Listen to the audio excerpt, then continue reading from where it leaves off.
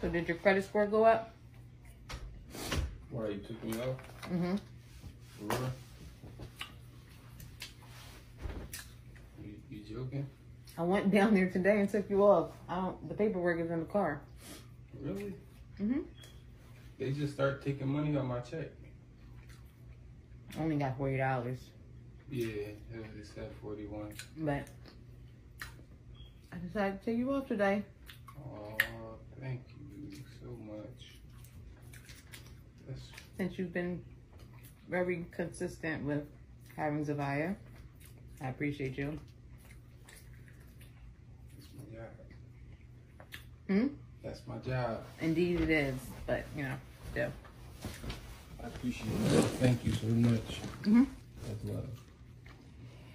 And I had the option of taking you off and leaving the arrears there, but I was like, You took the arrears off too? Mhm. You can do that? Mhm. No your way. credit scores. I see what you do with it now. Oh my god. It's better than Christmas. it's better than Christmas. Well, you don't get anything on Christmas. I'm sure it is. Oh my goodness. They really let you take the arrears off?